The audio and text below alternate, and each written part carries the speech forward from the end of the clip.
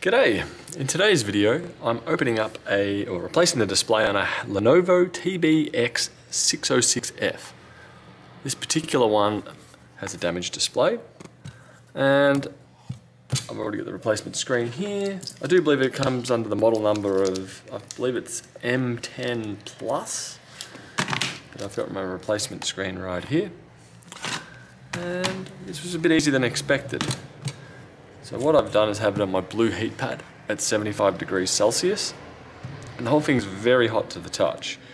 Because of that, prying it open is a fair bit easier. So I can just slide this around the outer perimeter.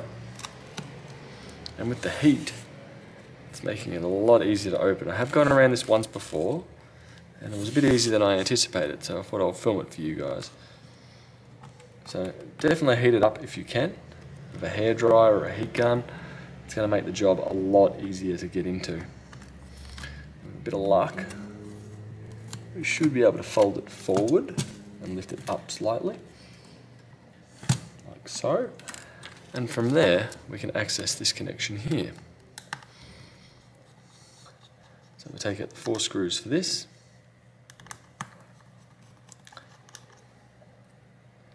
Now, if yours has a lot of glass that's shattered everywhere, you do want to be able to clean up the outer frame.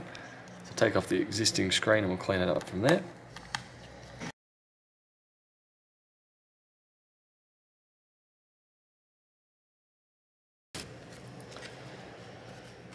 So if all the screws out, should be able to use a pair of tweezers to flick that up.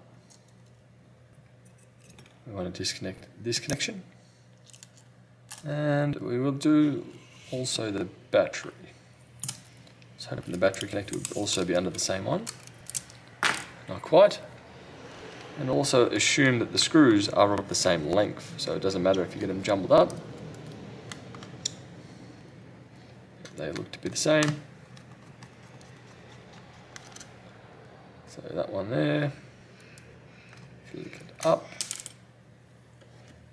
caught it, disconnect the battery, disconnect the display,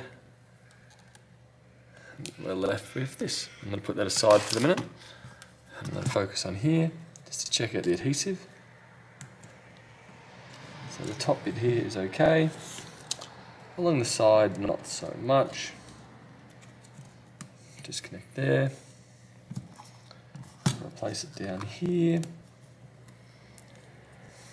As there is still glass there, right there.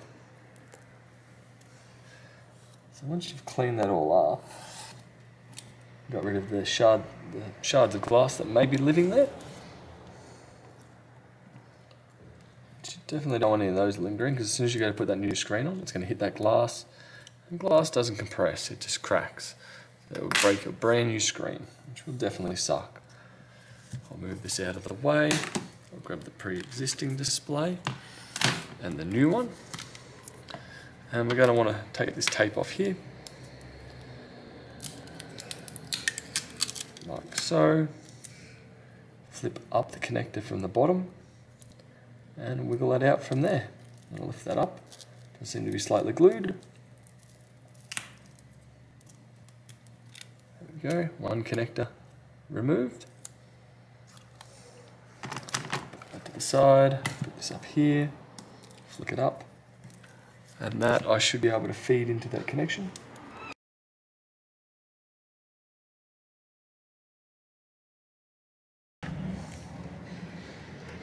That's a matter of making sure that cable is connected. Looking all right now. You see the line is almost right up. That there. Put on the blue anti-static tape. Oh, by blue, I mean yellow.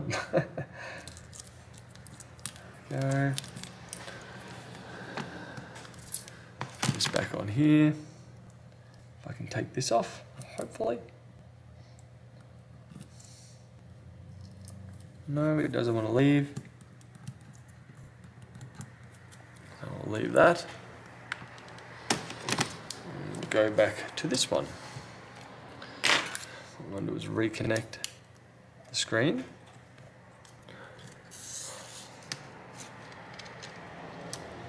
Just be able to bend it. Mightn't quite line up correctly. Connect that one back up. You should just be able to kind of loosely get the connection over the top of it. When it's in the right spot, it should kind of lock up and you can push down and it clicks into position. There we go. That's just clicked in for me. There. This goes back over the top. And three screws. So one. It's also probably worthwhile testing out the screen while it's in this position, rather than gluing it all down or sticking it down, finding out your screen doesn't work. Go there.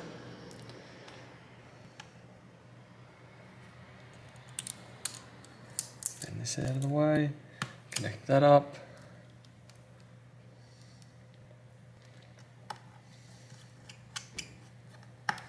And this should kind of slot in.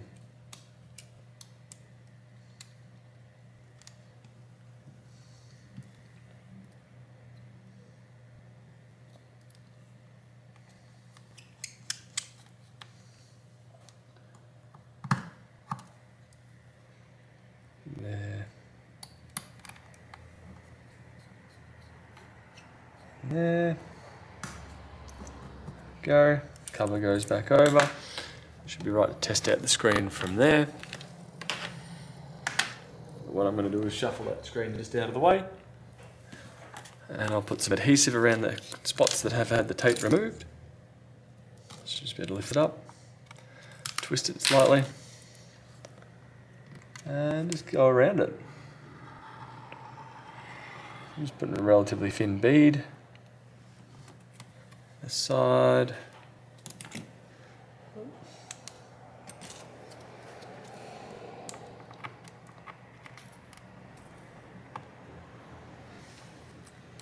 And same down the bottom.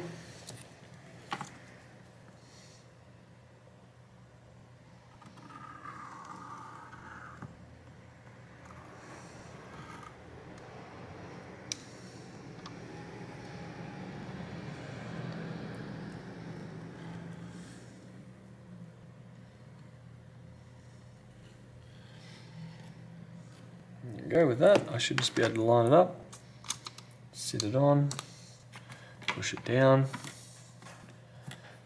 get a bit of runoff of glue up here. Okay. Work my way around.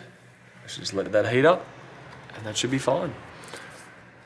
So that's how to replace the display on your Lenovo TBX 606F. Uh, Hope that helps and bye.